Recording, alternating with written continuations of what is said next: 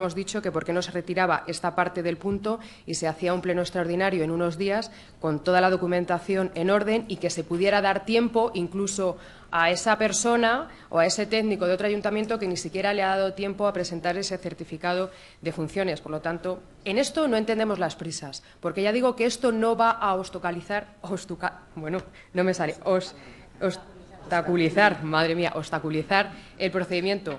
Por lo tanto, entendemos que no hay prioridad para crearlo. Esto así de esta manera. Muchas gracias. Tiene la palabra Alberto Sánchez Caballero.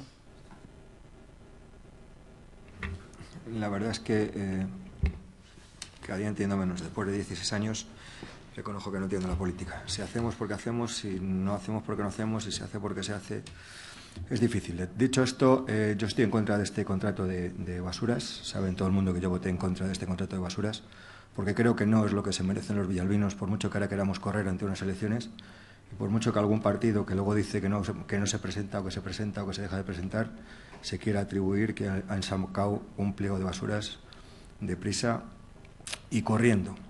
Pero como tenemos el contrato, como está encima de la mesa, como lógicamente hay que solucionarlo y hay que valorarlo, yo no veo mal eh, que la mesa de contratación entre los políticos, nunca lo he visto. Creo, sinceramente, que además tienen mucho que aportar, no solamente los técnicos, sino los políticos también tienen mucho que aportar, porque otras cosas son los que palpan, muchas veces no entendemos que los técnicos están en el ayuntamiento trabajando, pero no palpan el sentido de, lo que es la ciudad, de lo que es el pueblo, de las necesidades.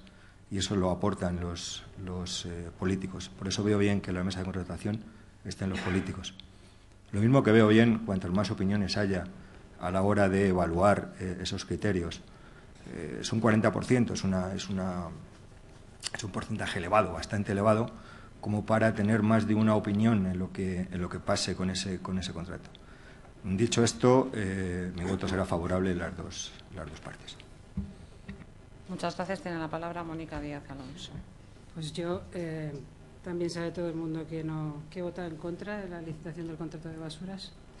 Y le, contestaría a Beatriz, eh, a mi compañera, que es que las prisas las ha habido en todo momento, para todo, para esto, para la, contratación, ha habido falta de papeles, ha habido falta de documentación, no se ha llegado a tiempo, en, muchos casos eh, es, es, un, es un suma, y sigue a lo, a lo, que venimos viendo desde hace un mes.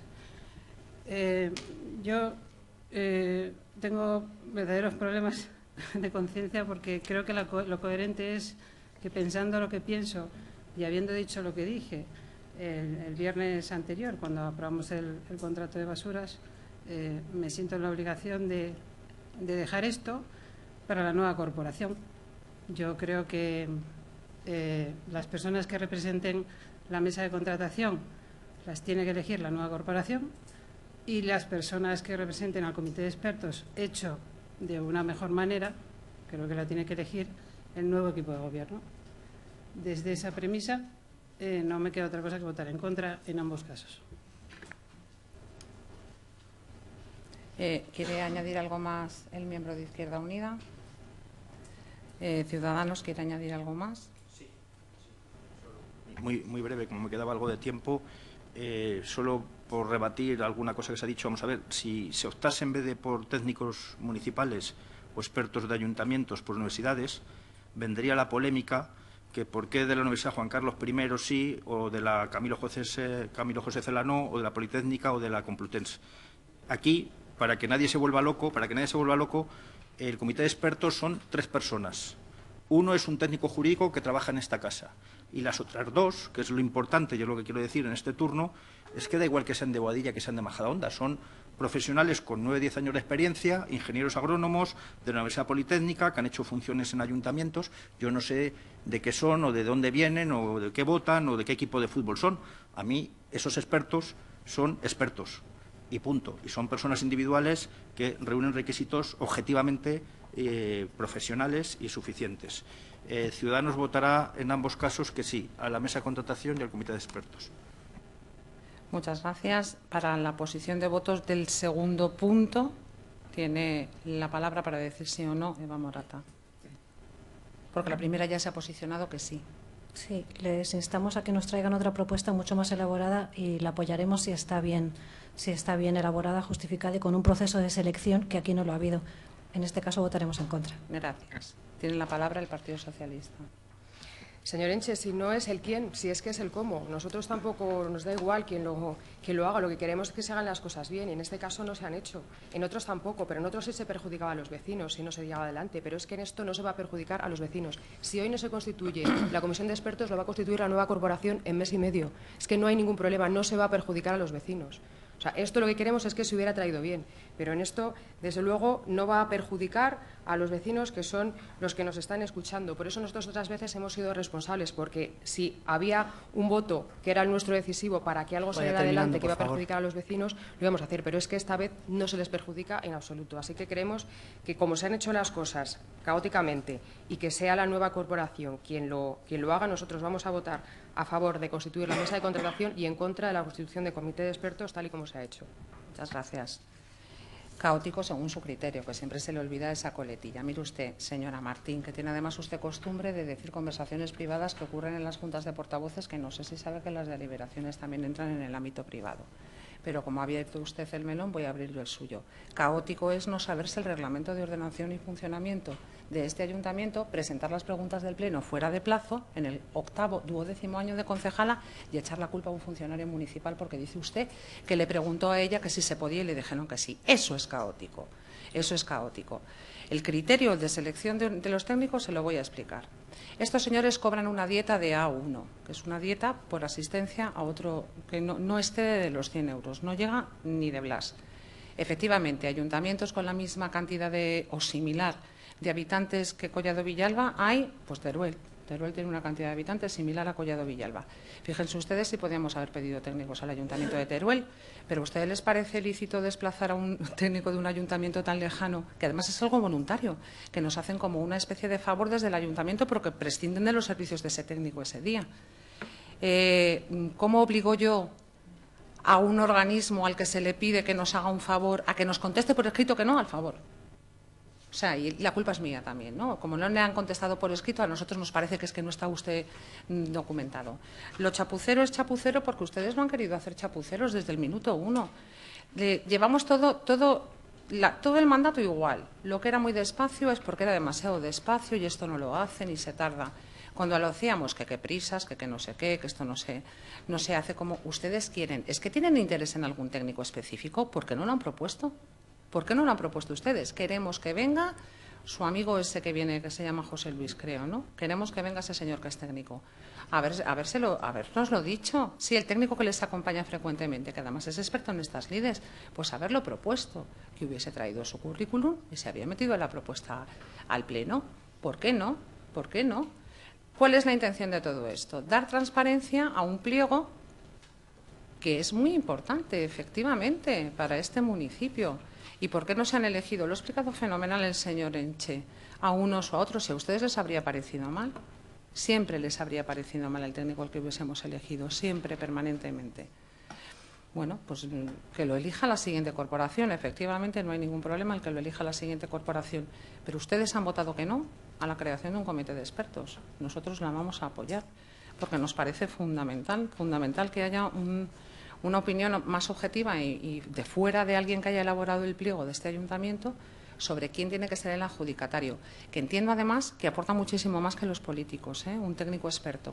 En la adjudicación de este pliego aporta una opinión de muchísimo más valor, que, porque al final va a valorar cuestiones puramente técnicas, puramente técnicas, salvo que alguno de ustedes sea ingeniero agrónomo, ingeniero de caminos, cosa que no han dicho en sus currículum o yo desconozco pero desde luego una opinión más cualificada que la mía, por ejemplo, ya les digo yo que va a ser que sí, porque yo no tengo ni idea de si es mejor hacer una secuencia o con una maquinaria determinada o de una manera o de otra. Y esa es la, la, función que tiene aquí el comité de expertos que hemos propuesto. El Partido Popular votará a favor de los dos puntos de la mesa de contratación y del comité de expertos. Se somete a votación el punto de aprobación de la mesa de contratación. ¿Votos a favor? ¿Votos en contra? Pues este punto queda aprobado con los votos a favor de todos los grupos municipales, Alberto Sánchez Caballero, y el voto en contra de Mónica Díaz Alonso. Y se somete a votación la creación de un comité de expertos para dar asistencia técnica a este pliego. ¿Votos a favor? ¿Abstenciones? ¿Votos en contra? Este punto queda aprobado con los votos a. Queda denegado, perdón, con los votos a favor de Alberto Sánchez Caballero, el Partido Popular, excepto la concejala María del Mar Gil Matesanz, el Grupo Ciudadanos, los votos en contra del Partido Socialista, de Cambiemos Villalba, de Izquierda Unida y de Mónica Díaz Alonso. Y la abstención de María del Mar Gil Matesanz. A ver, tercer, nada. Parte B, control y fiscalización. El primer punto del orden del día es dar cuenta de las convocatorias de órganos colegiados y como no ha habido, pues no tiene lugar el primer punto. Segundo punto, dar cuenta de los decretos de alcaldía y resoluciones de las distintas áreas. ¿Algún decreto por parte de algún grupo? Tercer punto, ruegos y preguntas. ¿Algún ruego por parte de algún grupo? Ciudadanos. Buenas tardes. En la organización la cerca y hay una señal de tráfico arrancada de, y, rogar que la, que la vuelvan a colocar. Gracias. Y por parte del canal de Isabel II, así se les avisa para que revisen y limpien las diferentes alcantarillas, ya que hay muchas que están atrancadas y convierte las calles en verdaderas lagunas. ¿Por parte del canal qué quiere decir? Para rejillas. O sea, que a nosotros nos dice que avisemos al canal, ¿no? Vale. Gracias. Eh, cambiemos Villalba. Gracias. Bueno, en primer lugar pedimos que se diga a Carpa, ¿no? a la empresa encargada de la recogida de los contenedores de papel y cartón, que aumente su frecuencia, sobre todo en algunas zonas, porque hay varias calles en las que se amontonan los papeles y cartones eh, y a veces incluso se impide el tránsito de los peatones. Eh, en segundo lugar, mm, reiteramos nuestra petición de que se reparen a la brevedad las fuentes de los parques y jardines del municipio. Se nos dijo que que se iba a llevar a cabo y bueno, dentro de poco, cuando acabe esta época de lluvia, probablemente venga el sol y, sean muy necesarias. Y ya por último, pues pedimos que se atienda la solicitud que registraron la semana pasada los representantes de los trabajadores del hospital para que se reunieran con la alcaldesa y también para que el ayuntamiento instara a la Consejería de Salud a que hiciera cumplir en este centro hospitalario la normativa vigente en materia laboral y sanitaria. Gracias. Muchas gracias, Partido Socialista. Sí, buenas tardes. Eh, le seguimos rogando que los contenedores en la calle Honorio